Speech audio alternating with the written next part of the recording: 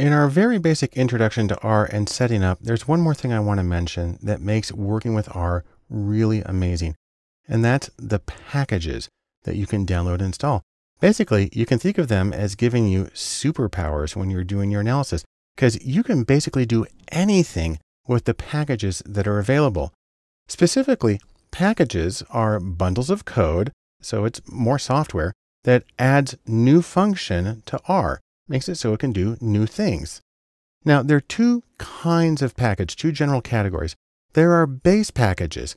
These are packages that are installed with R, so they're already there, but they're not loaded by default. That way, R doesn't use maybe as much memory as it might otherwise.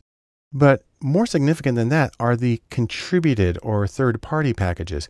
These are packages that need to be downloaded, installed, and then loaded separately. And when you get those, it makes things extraordinary.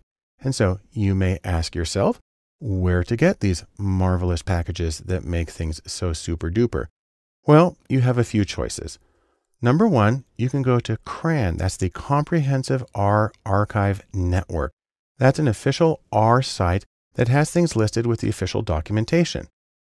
Two, you can go to a site called Crantastic, which really is just a way of listing these things. And when you click on the links, it redirects you back to CRAN. And then third, you can also get R packages from GitHub, which is an entirely different process. If you're familiar with GitHub, it's not a big deal. Otherwise, you don't usually need to deal with it. But let's start with this first one, the Comprehensive R Archive Network, or CRAN. Now, we saw this previously when we were just downloading R. This time we're going to cran.r-project.org. And we're specifically looking for this one, the CRAN packages. That's going to be right here on the left. Click on packages. And when you open that, you're going to have an interesting option, and that's to go to task views. And that breaks it down by topic. So we have here packages that deal with Bayesian inference, packages that deal with chemometrics and computational physics, so on and so forth. If you click on any one of those, it'll give you a short description of the packages that are available and what they're designed to do. Now, another place to get packages, I said, is Crantastic at crantastic.org. And this is one that lists the most recently updated, the most popular packages, and it's a nice way of getting some sort of information about what people use most frequently, although it does redirect you back to CRAN to do the actual downloading. And then finally at github.com, if you go to slash trending slash R, you'll see the most common or most frequently downloaded packages on GitHub for use in R. Now, regardless of how you get them, let me show you the ones that I use most often. And I find these make working with R really a lot more effective and a lot easier. Now, they have kind of cryptic names. The first one is dplyr, which is for manipulating data frames. Then there's tidyr for cleaning up information, stringr for working with strings or text information, lubridate for manipulating date information, HTTR for working with website data, ggvis, where the GG stands for Grammar of Graphics. This is for interactive visualizations. ggplot2 is probably the most common package for creating graphics or data visualizations in R. Shiny is another one that allows you to create interactive applications that you can install on websites. Rio is for R input output. It's for importing and exporting data.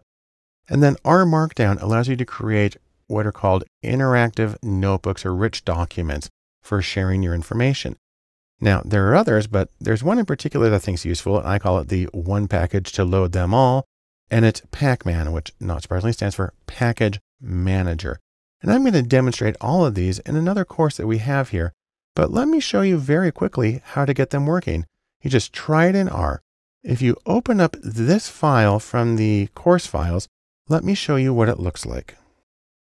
What we have here in RStudio is the file for this particular video.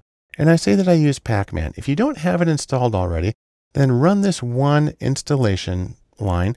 This is the standard installation command in R, and that'll add Pacman, and then it will show up here in packages. Now I already have it installed, and so you can see it right there, but it's not currently loaded. See, because installing means making it available on your hard drive, but loading means actually making it accessible to your current routines. So then I need to load it or import it, and I can do it with one of two ways. I can use the require, which gives a confirmation message. I can do it like this, and you see it's got that little sentence there. Or I can do library, which simply loads it without saying anything. You can see now, by the way, that it's checked off, so we know it's there. Now, if you have Pacman installed, even if it's not loaded, then you can actually use Pacman to install other packages.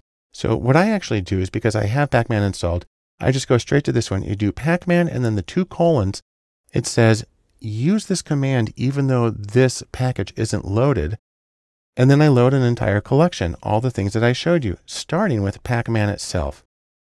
So now I'm going to run this command. And what's nice about Pacman is if you don't have the package, it will actually install it, make it available, and load it. And I got to tell you, this is a much easier way to do it than the standard R routine. And then for base packages, that means the ones that come with R natively, like the datasets package, you still want to do it this way. You load and unload them separately. So now I've got that one available.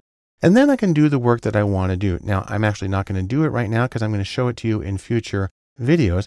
But now I have a whole collection of packages available. They're going to give me a lot more functionality and make my work more effective. I'm going to finish by simply unloading what I have here. Now, if you want to, with Pacman, you can unload specific packages, or the easiest way is to do p underscore unload all. And what that does is it unloads all of the add-on or contributed third-party packages. And you can see I've got the full list there of what is unloaded. However, for the base packages like datasets, you need to use the standard R command, detach, which I'll use right here. And then I'll clear my console. And that's a very quick run through of how packages can be found online, installed into R, and loaded to make your code more available. And I'll demonstrate how those work in basically every video from here on out. So you'll be able to see how to exploit their functionality to make your work a lot faster and a lot easier.